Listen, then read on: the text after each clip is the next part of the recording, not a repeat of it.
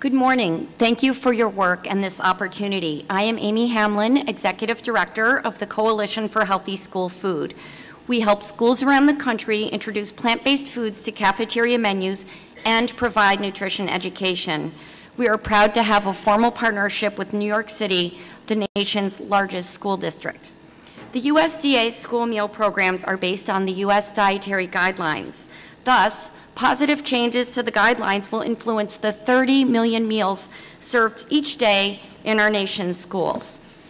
First, I want to emphasize the importance of meat alternatives, especially beans, lentils, tofu, and tempeh, and request that the guidelines place more emphasis on plant-based main dishes. Plant-based entrees are a healthy choice for all children, but most schools are not offering any other than PB&J. What is common on school menus is processed meat, such as deli slices, pepperoni, sausage, and hot dogs. But processed meats are classified as Group A carcinogens by the World Health Organization. They have no place in our diet since many children count on school meals for their nourishment and children are more susceptible to carcinogens than adults, we ask the committee to discourage the consumption of processed meats and plainly state that they cause cancer. Second, we urge you to remove dairy as a food group. Schools are required to offer milk, but research shows that milk does not offer, build strong bones. What's more, people of color have high rates of lactose intolerance. Humans simply have no need for milk past the age of weaning, much less milk from another species, for our guidelines to be encouraging consumption by people whose normal biology does not tolerate it is frankly a form of racial bias.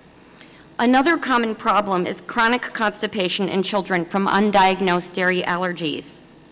So we encourage you to remove the dairy as a food group and add a calcium group and encourage greens, beans, and other high calcium plant foods, as well as exercise for bone strength. At the very least, the guidelines should promote the inclusion of non-dairy milks wherever cow's milk is offered. Third, we recommend the guidelines address the issue of processed foods because unfortunately, limits on calories, sodium, and fat still leave too much room for artificial and fiber deficient ingredients. Virtually all foods displayed at school food expos are processed. At a recent conference where we served main dishes made from scratch, one employee of a food company said to me, I don't mean to be a wise guy, but you're actually cooking food. What are you selling? I told him we're selling good health. Finally, I want to urge the committee to consider the role of animal agriculture on the climate crisis in your recommendations. Thank you for your attention to these important matters, which could make a huge difference for all people in the United States, especially our nation's children. Be sure to hit that subscribe button for more highlights and information about the changing dietary guidelines in 2020 an exclusive analysis you won't find anywhere else on YouTube.